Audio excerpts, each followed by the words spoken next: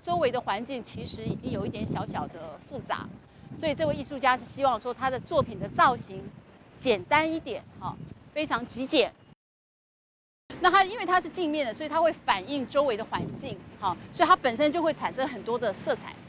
好。然后呃，像这一件作品，因为当初松本勋先生他来到台湾要参与这个比剑的时候，他就是在周围的环境看了一下，他就觉得是说，哎，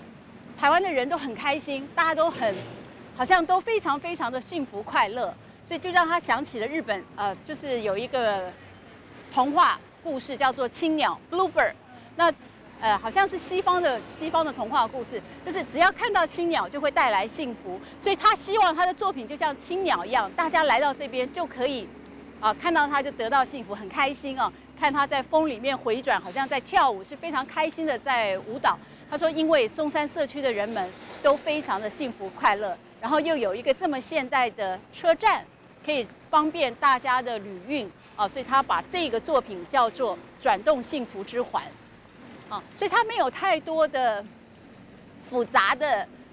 艺术语汇想要表达，他纯粹只是希望这一件作品跟这边的环境、跟这里的风能够做到一个融合，让所有的经过这里的游客、旅客，还有要回家的人都能够很轻松。看到这些作品很开心哈，这样子。那它比较困难的就是在于这个艺术家的制作的技术，就是在上面这个培林的装置。那这个装置都是他自己自己在规划的。那整个呃作品的量体，它虽然很高，可是看起来非常的轻盈。主要也因为它会动啊，所以让这个整个环境就会看起来不会那么重，啊，就会比较真的好像回家了，那个心情很轻松，脚步也非常的轻松啊。而且大家都可以在里面穿梭，如果小朋友也可以玩哈，是这样的一个环境。达达创意股份有限公司它得标的哈，有一组两件作品，整组叫做在河转弯处啊，就是刚才我们讲溪口，它的古意是一个河口，一个弯弯角的地方。然后两件作品包括林顺龙自己设计的，叫做时光铁道回旋。还有另外一位啊，罗佳慧小姐，罗佳慧女罗罗小姐的作品啊，大家看到这个，就是这个一支一支这个不锈钢，好像幸运草这样的一个造型的作品。那这个造型作品上面都有图案，哦。然后它其实当初的设计比较细，是因为让风吹的时候，它好像会微微的颤动，哦。然后呢，呃，它在民众参与活动的当中，有跟周围的社区。小朋友，然后画那个小小的风铃，都挂在这个车厢里面。那前一阵子有台风的时候，他就来把那些小风铃拆下来。好，现在不知道有没有挂回去哈。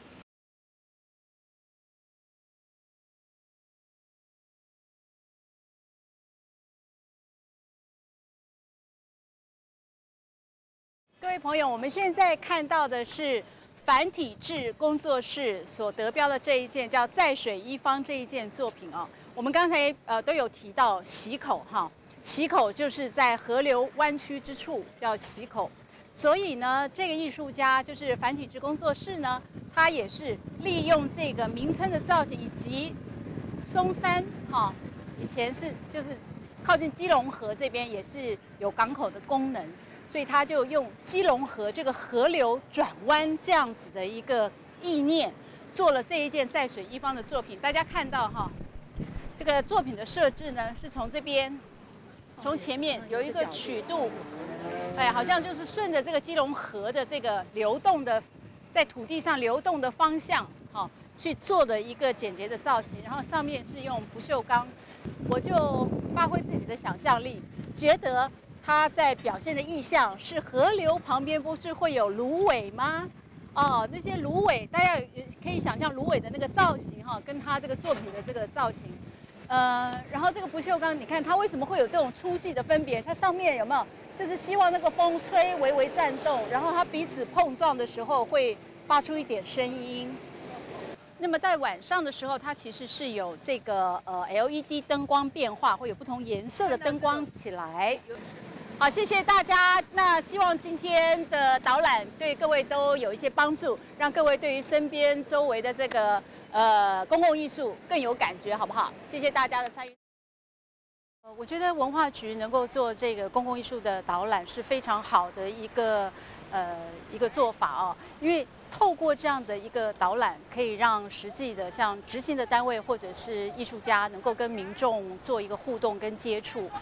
用一个非常直接的方式，能够让参与的民众了解到，整个公共艺术它设置的一个理念也好，以及公共艺术对于我们生活还有对于环境这影响啊，这都是非常好的一个方式。只是说，对于一个公共艺术导览而言，我们目前虽然办的场次非常多，但是参与的民众。可能还是稍稍局限了一点。那么，我想对于文化局或者对于我们这些执行单位跟执行公共艺术的这个呃公司也好，或者团体也好，是另外一个课题，就是怎么样来扩大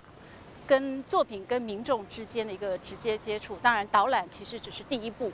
那么，未来有没有一个更好的机制，能够把这个导览呃可以更？更具体化或者更扩大，能够让更多的人能够来接触，我觉得这是一个非常好的。否则我们每一年花这么大的预算做这么多公共艺术，可是来往的民众对他很陌生，他没有亲身的参与。其实所有的公共艺术品都是来自于我们每一个人民嘛，我们人民的纳税纳税的钱也好，就是政府的预算。所以我觉得要怎么样能够让所有的民众呃更。跟我们的公共艺术产生一个连接，一旦民众能够注意这些公共艺术，进而了解它，进而喜欢它，我觉得这才是未来我们能够把公共艺术发展的更极致的一个方向。